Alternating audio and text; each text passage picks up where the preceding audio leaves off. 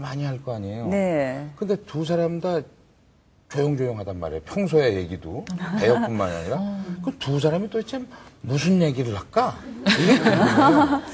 어, 영애랑 전 작품 얘기도 하고요. 음. 네. 그리고 이제, 어, 그러니까 개인적인 얘기도 하고 편해요. 그리고 영애랑은 자주 하지는 않았는데 영애가 데뷔할 때가 93년도에 대개 남편 어떠십니까? 아, 네. 그러니까 영애가 이제 연기자로 데뷔할 때 네. 같이 했었고요. 아. 그리고 중간에 이제 불꽃이란 드라마를 네. 했었고 그리고 이제 데뷔한 그 10년 이래 그 대장금이라는 드라마를 통해서 또 이제 좋은 작품에서 또 영애랑 같이 했는데 영애랑 그 연이 참 좋아요. 네. 이렇게 자주 만나지는 않지만 만나면 좋은. 어, 예, 서로 이렇게 좋은 느낌, 좋은 감정이어서 예, 그래서 사실 새로운 배역과 또 이제 새로운 그 호흡을 맞춰야 될 때 서로 이제 서로 이렇게 그 뭐라 그러죠? 어떻게 표현을 해야 그러니까 되나? 뭐딱 맞아 돌아가기가 어렵죠. 시간이 좀좀 걸리죠. 서로한테 이렇게 편하게 네. 편해져야 되는 그 시간이 있거든요. 네. 근데 그런 시간을 굳이 필요하지 않은 음. 그래서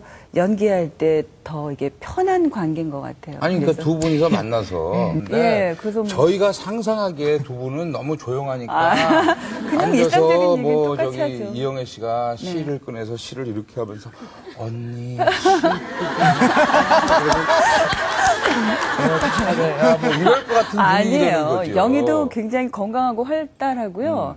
음. 예. 그리고 음, 편해요. 둘이 편하기 때문에 뭐, 음. 아니 뭐 형부는 자기들 둘끼리는 편한데 옆 사람들 볼 때는 우리가 볼 때 얘기도 안 들리고 그러면 아, 쟤네들이 우리 뒷담화 하나 오해하기도 쉬울 것 같단 말이에요. 소리도 크지 않고 크게 웃지도 않을 것 같고 뭐 그런 느낌이 든데. 그래요? 그런 에피소드는 없어요? 그렇진 않아요. 영애가 훨씬 더, 어, 그, 아름다운 이면 속에 또 굉장히 남을 배려하고 또 굉장히, 어, 정이 많아요. 예, 저는 영애가 그냥, 아, 단지 이쁘다라고만 생각을 했었는데, 대장금 통해서 보니까 후배들을 배려하는 마음도 있고 굉장히 사력 있고요. 그리고 저는 놀란 게 서로 편하면 서로 또 이렇게 지켜지는 부분이 좀 이렇게 소홀해질 수가 있거든요. 근데 저는 음, 그 음, 그때 그 기억이 굉장히 강하게 있는데요. 어, 영애랑 한 작품을 하다가 중간에 밤 촬영이었는데 주인공이라 분량이 많잖아요. 분량이 많은데도 불구하고 마지막 촬영에 제가 어, 장금이를 보는 시선인데 그냥 카메라 옆에 보고 하면 돼요. 영희는 그냥 가도 되거든요. 음. 근데 그냥 아, 그냥 맞춰주느라고. 네, 그냥 서져 있는 게 아니라 감정을 잡아서 어, 물기 젖은 그 촉촉한 눈으로 나를 그냥 장금이 그 자체로 저를 봐주는 거예요. 그래서 그냥 그때 한상궁을 했지만 그 중, 하면서 중간에 아, 영희가 이렇게 마음으로 나를 맞춰주는구나 라고 생각을 했는데 저는 그게 너무나 강하게 있었고요. 그래서 그 뒤에 영애가 호, 혹여나 불편할세라 장금이가 불편할세라 업을 때는 어떻게 업어야 될까 또 해줄 때는 어떻게 해줘야 될까 저는 정말 그렇게 했어요.